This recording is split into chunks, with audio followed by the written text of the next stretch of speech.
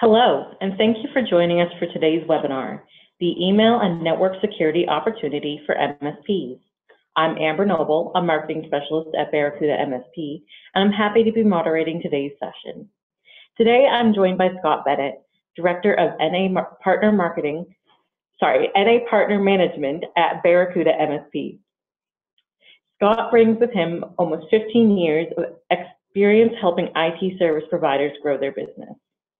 During today's educational webinar, Scott will take us through the full email and network security portfolio from Barracuda MSP and cover how to protect your customers from advanced malware, ransomware, zero-day exploits, and more. Before we get started, let's do some brief housekeeping. During the webinar, if you have any questions, feel free to share them using the questions or chat panel to the right of the Zoom webinar screen. At the conclusion of the webinar, you'll be prompted to complete a brief polling survey. Please take a moment to tell us what you think so we can continually improve the content and quality of our online events. Now, without further ado, I'd like to hand it over to Scott to into today's presentation. Take it away, Scott. Thanks, Amber. Appreciate the warm welcome. Thank you, everybody, for joining today's webinar. Webinar. Really appreciate your time today, taking some time out of your busy days. Uh, today, so want to focus on learning how to protect your customers from advanced malware, ransomware, zero-day exploits, and and more. Right. Um, we're going to take you through the the threat landscape and and uh, and explain how it continues to become more and more complex and more widespread. Uh, for instance, in the past, hackers typically targeted an individual person, person or machine, and today hackers are targeting entire companies. They're they're going in either through a, an individual or they're coming in uh, through a machine, but ultimately their their goal is to take over the entire network. And uh, and what that means to that business is uh, and can be uh, catastrophic. So um, you hear on the news every day, right? Sometimes daily that there's a new malware attack out there. Uh, if I could look through the phone or through the computer screen at the moment, I could probably see a show of hands, uh, it, probably through through every individual out there that they've experienced some kind of uh, ransomware or malware incident, whether it be through you, whether it be through your customer. Um, so it's rampant, right? And and again, we see it in the news every single day. Uh, constant threats, new threats, uh, different types of threats like uh, volumetric threats. Uh, spear phishing is huge and on the rise. Uh, and one thing that, as a, as a manager for our partners, for our, our MSPs out there, one thing that I that I sense and that I see is yes, we're very much aware of them, but we're almost getting to the point where we're bombarded by the media and we're starting to forget um, how impactful the, these these attacks can really be, right? We're starting to become almost desensitized to to uh, uh, to all of these attacks out there until it actually happens to one of our customers. Uh, but we shouldn't be. Uh, by 2019, there'll be they'll statistically there'll be a ransomware attack on every excuse me on a business every 14 seconds. So what that means, and I don't do the math here, marketing helped me out with the math, but what that means is that there'll be 15, if not 20 attacks just from the time we kicked off this presentation today. Uh, so think about that, right? That's huge. Uh, think about having to run out of here and God forbid and, and, and service a customer who's currently under attack. The money that and the stress that that puts on your business as an IT service provider, let alone what that's doing to your customer, right? And and again, um, you're, you're focusing now on, on your customer, uh, all hands on deck for your customer. Uh, that's money that's, that's out of your pocket. It's money that, that your customer, if they can't get back up in order, that they're going to lose. And at the end of the day, if you're responsible for your customers and, and their security, there's reputational damage that, that can be incurred in this situation as well. Um, so very serious and, and something that uh, that we all should be all should be taking advantage of in the marketplace today. As mentioned, uh, spear phishing, a huge rise of, of spear phishing attacks today. Uh, these silent attacks where they trick the recipient into doing something like transferring funds on behalf of a hacker, uh, portraying themselves as someone that you know and trust. It, it's it's happening every single day. So where are your customers vulnerable? Sure, we can talk about that. Uh, but what do all of these statistics mean for you and for your customers? Uh, what they mean is that a yes, email is is certainly a, a, a, a threat vector to be reckoned with. Um, your customers are very vulnerable, right? Not necessarily yours, but just customers in general, businesses in general, and they're vulnerable through email. Uh, it means that humans can be naive uh, or simply at risk because of lack of education. I, I, always like to tell the story of the time my 78 year old dad sent an email to me that said, Hey, Scott, I keep clicking on this link that you sent me from your Scott Bennett at yahoo.com domain and, and nothing is happening, right? My dad, I don't consider him a stupid man, uh, but he's uneducated, right? He's 78 years old and, and, and he just doesn't understand it. Uh, it also means that not one product can do it all. Not one product can completely secure your customer. And that's something we'll talk more about today as well. So let's start with um, a, a, a, real life scenario, okay? And, and, uh, and maybe that'll put things into perspective um, and, and, and, explain exactly what an attack can do and, and what kind of damages can incur within these attacks. Uh, in April of 2017, the Erie County Medical Center was hit by ransomware. It happened at 2 o'clock in the morning. Uh, the emergency room workers started seeing ransomware notes announcing the hospital's files had been encrypted. And an hour and a half later, the medical center's IT team made the decision to shut down all the systems. And from that point forward, uh, would be forced to uh, to A, um, start doing everything manually, right? You can't shut down a hospital, especially at two o'clock in the morning. And, and B, uh, to forego uh, the ransom. Uh, the manual process through, through this incident took up to six weeks. Okay, so for six weeks, they were down, they were running their business with manual operations, pushing paper and the like. And, uh, and unfortunately, it was very costly. Um, so how did this happen? You know, sadly, pretty easily. Uh, it was due to a remote desktop protocol and an open port, and the hackers were able to come in via an, a, an easy default password.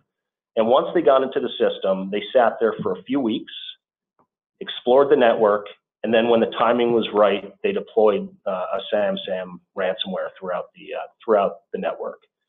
Um, so $10 million in damage later, 5 million of that was, was uh, spent towards hardware and software assistance needed to uh, remedy the, the issue, AKA somebody like yourself on the other end of the line had to go in and, and help with, with getting them back up and running.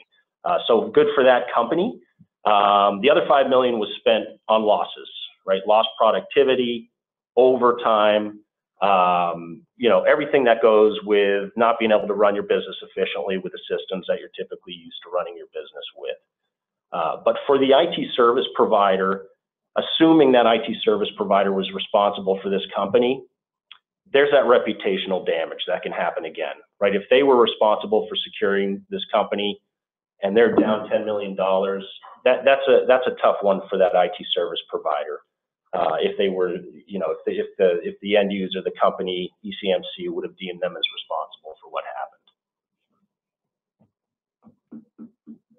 So the U.S. Securities and, and Exchange Commission, they recommend a multi-layered defense approach, okay, to uh, to a cyber strategy. And Barracuda recommends the same thing, and I'm going to walk you through that you know, the hows and the whys in just a second.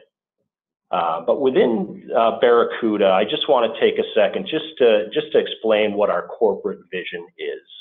Okay, um, I'll read it. Uh, I know you can see the screen, uh, but to be the leading security platform for today's IT professionals by protecting applications, data, and users everywhere. So what does that mean? So what it truly means is is Barracuda as a company, we're here for you. We're a channel exclusive company. So you're the IT professionals. Um, today's IT, if we take out the word professionals, today's IT as a manufacturer, as a distributor, as a partner, we have to also be uh, forward thinking. We have to stay ahead of the curve, ahead of the waves.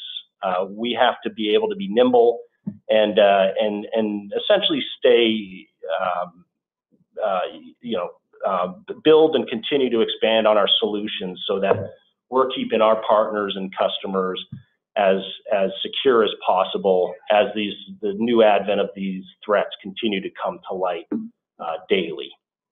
Okay, and that goes beyond just security, and we'll talk about that in a minute. Uh, protecting applications and data anywhere. Uh, the anywhere it really speaks to um, where, right? So um, you as an IT service provider also have to be nimble, also have to have to expand with the times and and, and stay ahead of the curve. And you know, by saying that, what what do I mean by that? Um, you know, you've got so many things, so many changes out in the marketplace, right? You're managing multiple sites. You have SD-WAN to contend with, uh, managing apps on the move from on-prem to the public cloud, uh, the advent and, and, increase in Internet of Things and the risks that those devices can pose to, to your business. You have to think about those things. Uh, so you really have to be nimble as well. And, uh, and, and again, by anywhere, we really mean you know, there's there's so many areas, whether on-prem or in the cloud, uh, is everywhere, and you need to be able to protect it. So uh, the difference with Barracuda MSP, you know, as as a as a corporation, as a company, Barracuda again, channel exclusive. Um, we have the same methodologies and and uh, and uh, sentiments across all of our business. Uh, but really within within Barracuda MSP, we're really there to enable you, the managed service provider. Uh, the partner first approach, for instance, um, without, and this, this is cliche, and I'm sure you've heard it over and over again, but it's true. Uh, without your voice, uh, without your feedback, uh, without your growth, our business doesn't grow. Okay, so, um, so we've built IT solutions that are flexible for you, uh, they include multi-tenant solutions, right? So easy to manage, easy to maintain, easy to deploy. Uh, growth simplified. We've built pricing models that speak to IT service providers or MSPs, where most of our products carry a fixed monthly price. Uh, they're billed monthly, and they are consolidated into one single invoice. So easy to manage, keeping your lives easier within your, your business, easy to manage your billing, understanding what you're paying for a solution and what you should be charging to your customer, and easy on your, your, uh, your accounts receivable and payable departments, your, your admins who have to deal with the inflow and the outflow of money to make sure that, again, your business is streamlined across the board. And we can get into that a little bit more towards the end of the presentation. So back to the Security and Exchange Commission, uh, a multi-layer um, of defense is needed. Uh, we truly believe that, and uh, I'm going to walk you through how Barracuda uh, builds out their their business, their solutions to ensure that you're covered across the the the, the many threat vectors that are out there um, to stop those those uh, threats from getting into your customers' networks. Um, those threats include email, right? Those threat vectors include email, application, network, so the edge. They include humans, probably the most important vector to think about.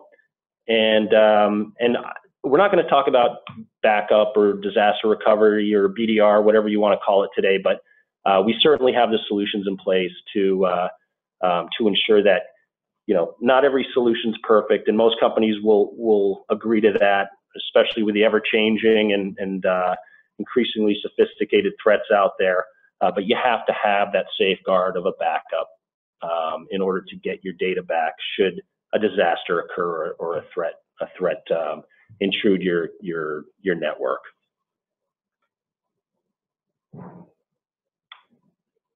So what does a multi uh, excuse me, what does a multi-layered approach look like? Um, and, and let's start with security and uh, security awareness training and email. So let's start with the email side of things. Um, if you haven't already experienced it, you've seen it, right? So e email-borne risks is an existential threat. How do I secure more than just the gateway? So what I want you to do is think about, you know, are you just securing the gateway today as an IT service provider? And I'll walk you through that in just two slides. So 74% of email, or excuse me, 74% of attacks start with an email. So three out of four cybersecurity threats originate with illegitimate emails. Uh, but these threats take on several vectors. They take on uh, the spear phishing uh, type attack or, or CEO fraud. Uh, they take on uh, attacks via infected attachments or or phony website links to organizations. Um, so clearly, email is is the number one threat, and and we need to make sure that we're covering all of all of the cases, the use cases when it comes to protection. So it starts with the mailbox, right? Whether you're on a cloud service like Office 365 or G, Suite or on-prem hybrid configurations, the defenses are really the same.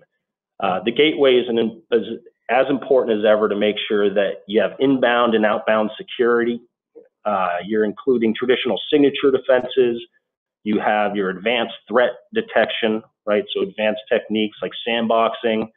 Uh, you're securing yourself against accidental and malicious data loss with encryption and DLP, and and uh, and you're archiving for compliance, right? You're keeping data uh, for call it seven years for for um, for those compliance reasons as well.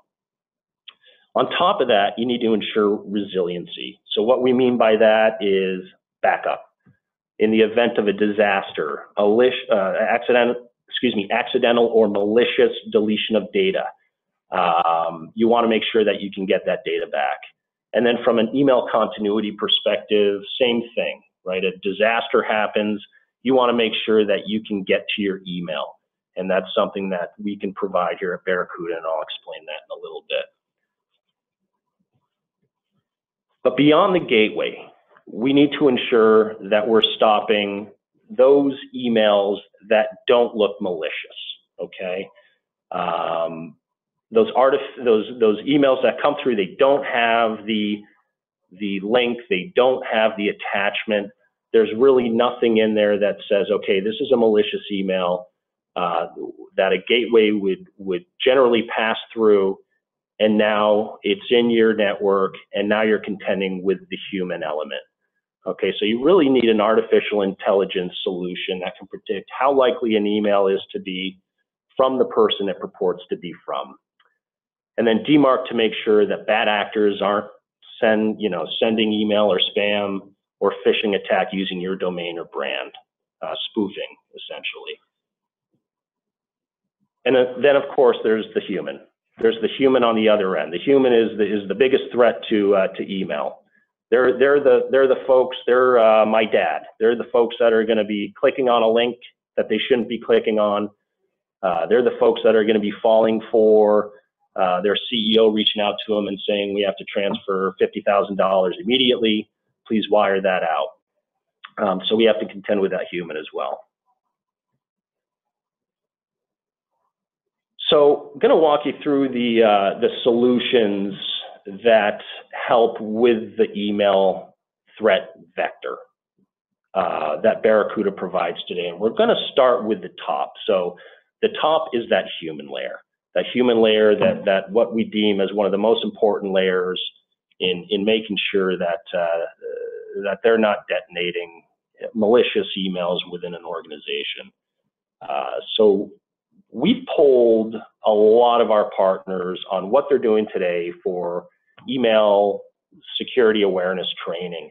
And one thing that we gathered from our partners, and this goes back probably um, gathering survey information over the course of the last year, one thing that really stood out is uh, they're either doing it today or they're not, right? So I'd say probably 25% of our partners are, are do, have been doing some kind of email security awareness training. Um, if they are, and if they've bought into a solution, it's whether or not they're actually acting on that solution. Uh, so through that polling, we found that most of our partners um, are spending way too much time building out campaigns for delivery to their customers. Uh, they're finding they're running out of time in building those campaigns, and and and uh, if they run out of time, they wait till the following month, but they're still paying for the solution. Okay, and in some cases, it was up to eight hours per customer. Our, our, our partners were spending with with building out these campaigns and delivering on these campaigns. So what we decided to do, we have a product called PhishLine. We decided to make it a managed service to our IT service providers. Okay, so it's not a competitive solution. Uh, again, we're channel exclusive, so this solution is strictly for you as a managed service provider. And what we do is we run the campaigns for you. Um, so really all you have to do is you provide us with your customers' domains, your, those email domains. We build out those campaigns for you, okay? We execute on those campaigns. We start with a uh, spear phishing simulation, and from there we baseline the uh, the company for you, and, and and we get an understanding of who's at risk within that organization. Um, just so you know, our our statistics based on our own findings, our own solution, our own data, one out of nine individuals is going to click on a malicious link. Um, so pretty staggering statistic there that we've uncovered. So we'll deliver that campaign for you.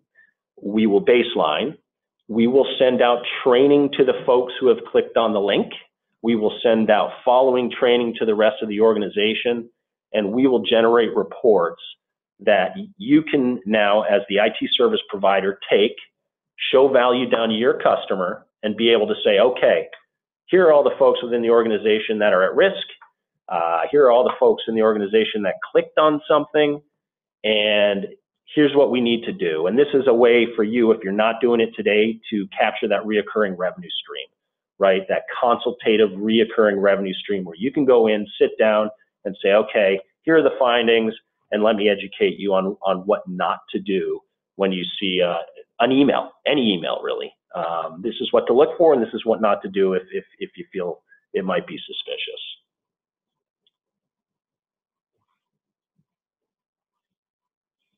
Sentinel. So now we've covered the human element, right? We've educated the, the human on not to do certain things, not to touch certain attachments and, and the like. Uh, Sentinel is a product that, again, sits beyond the gateway. It is that product that uh, when social engineering attacks happen, so spear phishing, um, that don't contain links or attachments while they're trying to trick users into doing something. Uh, for instance, Joe CEO reaches out to uh, the admin within finance at 10 o'clock at night, Joe CEO is using his Joe CEO at gmail.com address and says, we need to transfer funds. We need to transfer funds immediately. Um, the Sentinel product is there to recognize patterns. And when it sees off patterns, for instance, Joe CEO never sends emails from his personal email into his network, nor does he especially do it at nighttime. So this product really, really cool product. Uh, Sentinel will quarantine that message. It'll send an alert out to the MSP, out to you, and it'll provide a report as to, you know, what we've quarantined, why we quarantined it, and in the event that uh, that it's malicious, we'll keep it there. Um, if it was a was a real email, then then certainly we can we can pass it along and deal with it then. Um, but very very cool uh, cool technology. Um, the other piece to this solution is, is DMARC. So it offers DMARC um, uh, authentication for your customers, which allows you to monitor emails and ensure that, that the emails that are coming from your customers who are trying to spoof your domain, uh, we can understand whether or not it's fraudulent or not. Essentials is really the flagship product of Barracuda. So this is within the gateway, okay? So Essentials started um, really as the spam filter 15 or so years ago within Barracuda. Uh, it's come a long way. We've made a lot of advancements, a lot of developments within Sentinel. Um, excuse me, within Essentials, and it's it's uh, grown into uh, a very powerful email solution with advanced threat protection. A lot of cool features uh, that are included within this solution. Uh, so, for instance, there's an email continuity uh, feature for emergency failover, which means that whether you're on-prem or in the cloud and your system fails, you can fail over onto a uh, or into Barracuda in the interim until we get you back up and running. Um, DLP and encryption protection. Uh, so we like to say, yeah, yeah, Essentials keeps all of the bad stuff out while DLP and encryption keeps all of the good stuff in. Uh, so imagine you work at a hospital and you need to send sensitive patient information out to other places. Uh, you want to ensure that that information doesn't fall into the wrong hands. Uh, but ATP, you hear a lot of com companies talking about advanced threat protection. Um, you know, they'll talk about the four layers of protection that they offer. They'll talk about why their technology is better than the next technology. I want to sit here and say that our technology is better than the next uh, technology, and we truly believe that. Um, but what I truly believe, we truly believe as a company, and we truly know, is that because we've been in business for so long, because we service mid-market companies, small to medium business companies, and we have uh, thousands, hundreds of thousands of solutions deployed and billions of traffic hitting us on a, on a uh, daily and weekly basis across all of our solutions. So I'm walking you through just the email right now, but think about the power of all of our solutions using the same ATP engine, capturing all of all of um, those threats in the same cloud, and all of that traffic from all of those different solutions. we feel that that really sets us apart, right? So we're we're uh, capturing so much within our database that um, as as we're as we're comparing signatures, we're able to a keep the email really moving quickly for you, and b if we do see an advanced threat and we do happen to sandbox it, because we have so many deployments out there in the field across the globe, we can get to that um, fraudulent or, or, or cyber threat quickly and start to analyze and, and put basically put a stop to that to that threat um, beyond beyond one instance. Um, so very powerful stuff when it comes to, to the advanced threat protection with email. Includes compliance, right? So you have your your law firms that need seven years of archiving. Um, if they happen to be in litigation and they need to get emails, search for emails and get them back quickly, uh, an e-discovery tool that'll help uh, help those customers get get those emails back quickly so they can continue on with their litigations and, and not waste any time. Um, and then backup, right? So backup for Office 365, uh, it's a it's a it's a big mover for us, uh, partially because of the flexibility, the flexibility in the retention schedules. Uh, we allow you to to um, you know set your retentions to your needs. So you can go beyond that 30 day, 60 day, 90 day mark in the event somebody loses data six months back. If your retentions are set accordingly, you can capture that data back.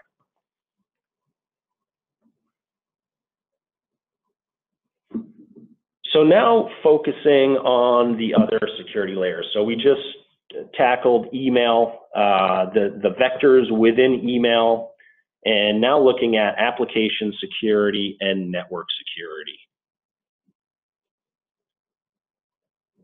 So partners and customers have to face the collapse of the network perimeter, right? Everyone, including yourselves, should be asking where are their applications going to be? Where, they're, where are they going to reside in the next few years, right? So we have this shift, this paradigm shift of customers who started on the left side, right? We're on-prem and, and we all have those customers that are probably still out there today uh, that that are on the uh, keeping their their feet, their wheels, whatever you want to call them, on the ground.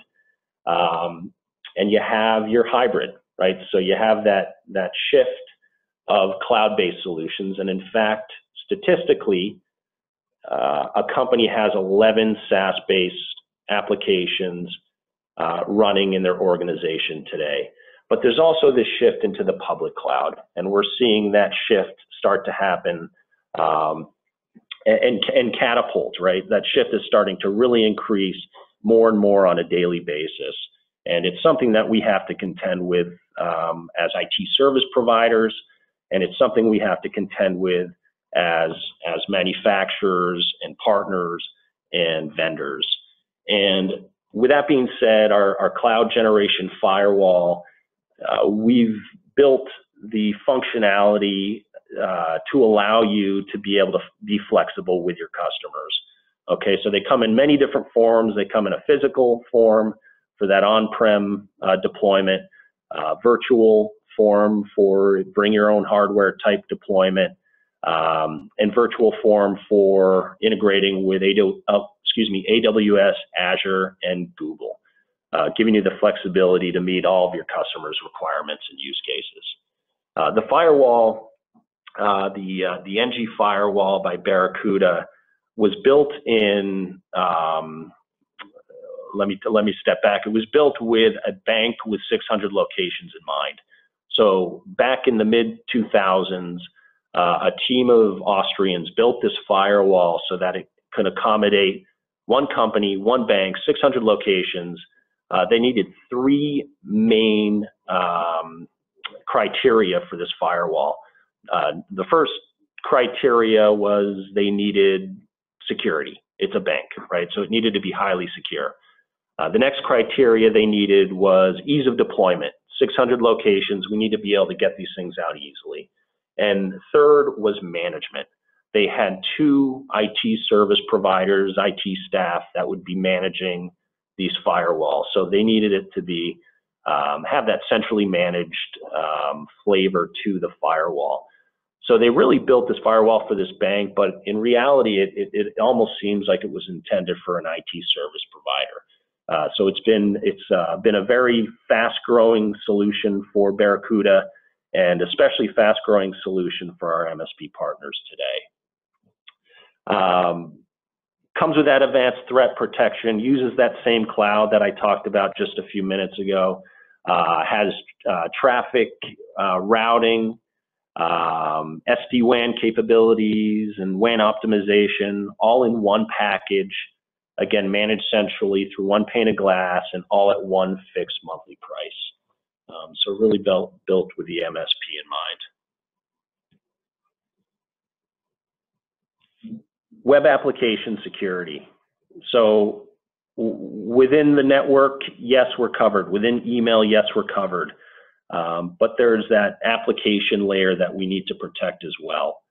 Um, so the Barracuda Web Application Firewall as a service uh, is a solution that is incredibly easy to set up, uh, very intuitive to manage, uh, and very powerful when it comes to ensuring that um, uh, things like DDoS attacks uh, won't disrupt the availability of your cu customers' web applications, uh, which would obviously have a very serious impact on your customer's business. Um, there's also a tool built in which is called the vulnerability scanner. And what that solution does is it's, uh, it, it, provides an automatic vulnerability detection and remediation service that can be scheduled. So it ensures the ongoing protection of your, of your customers without the added work of your team. So, so uh, very, very powerful from um, and, and, that's a free tool as part of the service, by the way. So detecting those vulnerabilities and, and remedying those vulnerabilities within within um, your applications. Content Shield. So Content Shield, another solution. This is for the endpoint. Okay, and what this solution allows you to do, it allows you to uh, essentially ensure that your end users are staying away from malicious sites. Okay, so um, keep your end users within the network from going to malicious sites, sure, uh, but content filtering as well. So keeping them out of, uh, um, you know, surfing for uh, the wrong sites, call it whatever you want, and uh, and making sure that they're productive during the day. Also great, we talked about it earlier for the Internet of Things. Okay, so Uh, being able, if you see uh, one of your internet or IoT devices pointing to, um, you know, redirecting itself, this solution is perfect for that to ensure that if it's redirecting itself, uh, it's probably a malicious attempt and, and we'll put a block on that and, and stop it. So those are the solutions, those are the layers, um, and, and again, the solutions that will pr help protect those, those, uh, those layers between email, application, and network security. Uh, and again, we haven't talked about data protection today, but certainly, uh, certainly part of our portfolio to ensure that our partners are covered from end to end. Um, within the Barracuda MSP program, uh, lots of other value adds to our services. For one, uh, we have resources. So partner toolkits, okay? So on-demand access to sales and marketing material, online support for your technical needs, uh, for getting certified, uh, for finding answers to questions you may not uh, uh, be aware of. Um, partner onboarding. So when you start off as a new partner of, of Barracuda MSP, we'll provide you white glove service to getting onboarded. So a human, a person will actually sit with you, help you understand the product, help you get up and running with the product, and really give you that first level of training on the solution to ensure that A, you're comfortable, uh, B, you're up and running quickly, and C, you're able to, uh, to understand the solution to continue to, to deploy and grow with us. Um, so very powerful there. Uh, dedicated account management. So you have uh, within the program, you have two dedicated account managers. One we call a partner success rep, who's really there to enable you to be successful. Uh, the other is your account manager, helping you understand who and what the products do and who the products are, and and and uh, and you know getting the right resources for you to understand. Um, um, um, you know, from a consultative standpoint, what you might be missing with your customers to ensure that they're fully protected.